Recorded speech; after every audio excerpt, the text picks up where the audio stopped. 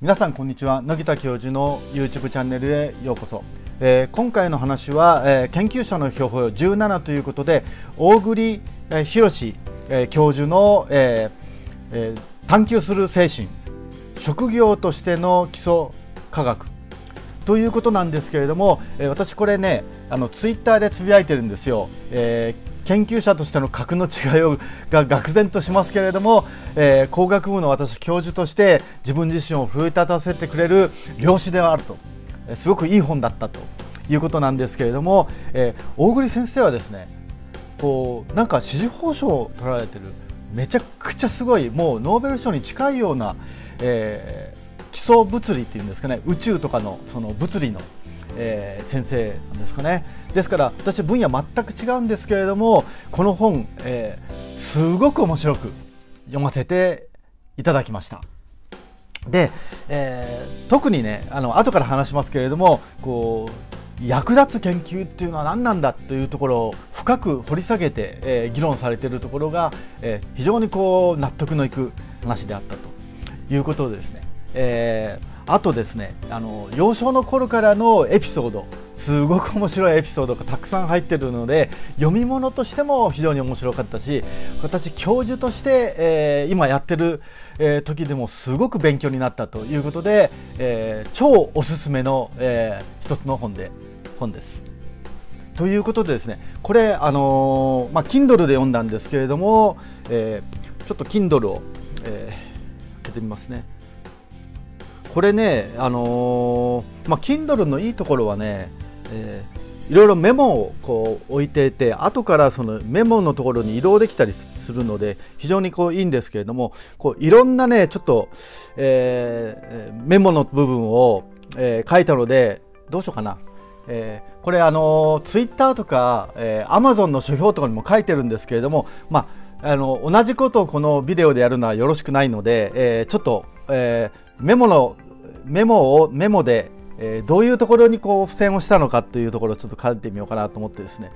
で、えー、どんな分野もさまざまな研究があって誰にも読まれずに生まれてしまう論文がある一方で新しい学問分野を生み出してさらに社会そのものを変革するような、ま、研究もあるということで、え、そういうふうなものの方をやっぱり目指したいということなんですけれどもでもですねそういうのはやっぱり相当難しいので結局はねちょっとしたこうアドホックなって言いますかちょっとした改善とかで、え、研究していくということも同時並行でやっぱりやっていかないと、えー、生き残るのは難しいかなというふうに、えー、思ったりしてるところなんです。で、えーとですからこのプロジェクトには普遍的な価値があるのかより広い分野にインパクトを与えることができるのかということを常に、え自問しているともうこういうところはねやっぱり僕もね、えー、ちゃんと考えながらやっていかないといけないなと、えいうことを感じています。で、えー、私もあアウレアウレリウスのあ自称録を読んでみましたということで、えー、これあのローマの皇帝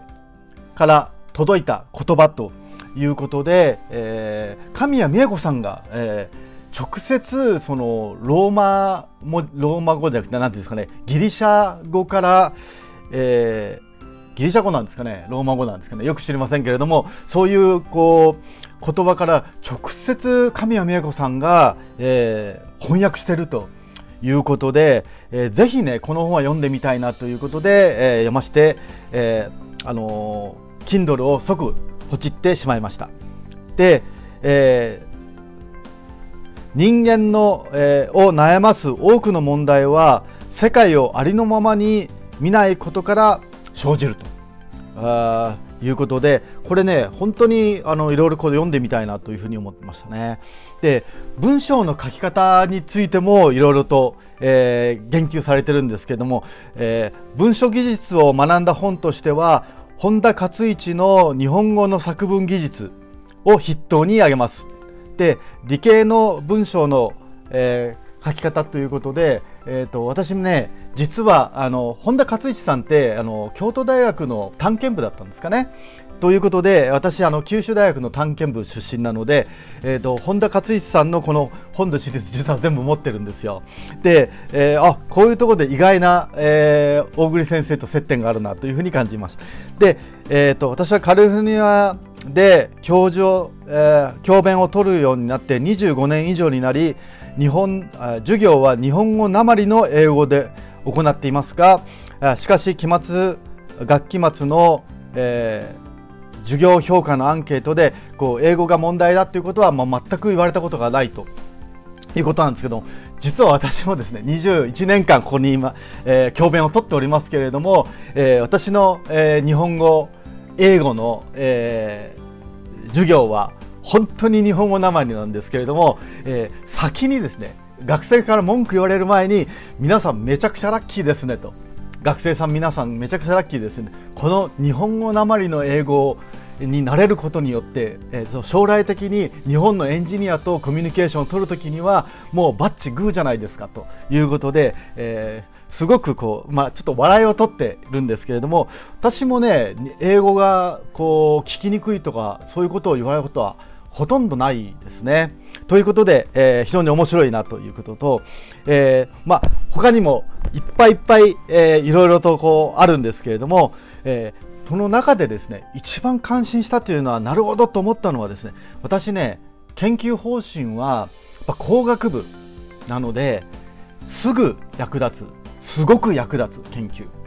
ということを、えー、感じてやってるわけなんですよ。それであの最近 TMS からそのリサーチインダストリアル、えー、トランスジトランスレーションアワードというアワードももらいましたけれども、まあ、産学両あ、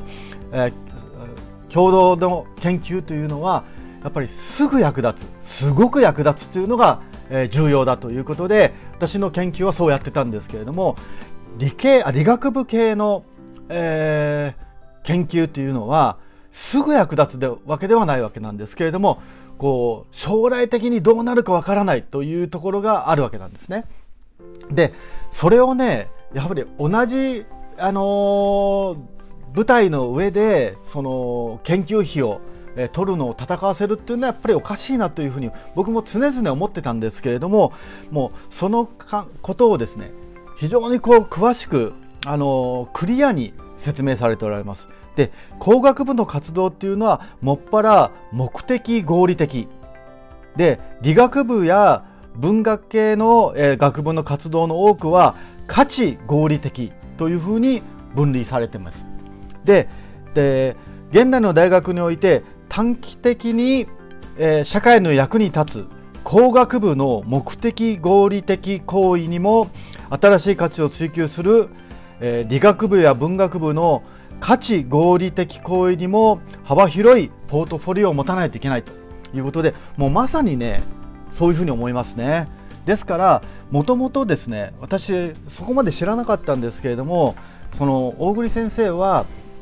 その研究と大学のこう歴史を紐解いてですねでもともと大学っていうのはそういう理学系もしくは、えー、人あの文学文学とかあの人文系ですよね。の方のフィロソフィーですからね。PhD というのはあのあのフィロソフィー、えー、ドクターですからね、えー、PhD ですからね。ですから、えーと、やはりそういうこう、えー、価値合理的な部分が、えー、本来の姿だったんだと思うんですけれどもそこにですね、えー、工学部であるとか法律学部であるとか、えー、医学部とかすぐ役立つすごく役立つというそういうこう短期的な部分が入ってきたわけなんですよ。でその部分はもちろんそのすぐ役立つすごく役立つわけなのでやはりあのでも職業訓練校的な部分もあるんですよねやっぱりねそういう工学部っていうのはですね。その心理の追求をするんじゃなくてもうそのできた心理を使って何か役立つことをやるっていうのがやっぱり工学部の話でしょうし医学部に至ってはダイレクトに命に関わる問題ですからもう早急な、えー、問題なわけですよね。ですからその2つはやっぱりねどちらも大切なんですよねやっぱりねですから、えー、この本を読んでこうますますあのやっぱり深い、えー、考え方でそういうふうに説明されるとなるほどなというふうに思うということで非常にね、えー、この本から得るものは大きかったです。ということで、え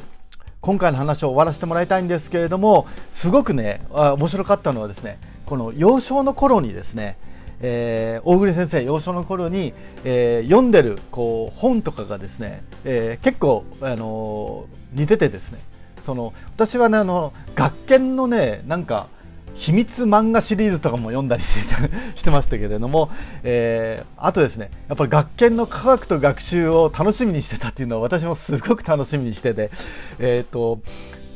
だからピンホールカメラとかで現像したりとかですねあと鉱石ラジオで電池がないのにねラジオが鳴るとかねああいうのねやっぱ学研の付録はすごかったですよね。ということで、えー、今回の話は、えー、終わらせてもらいます。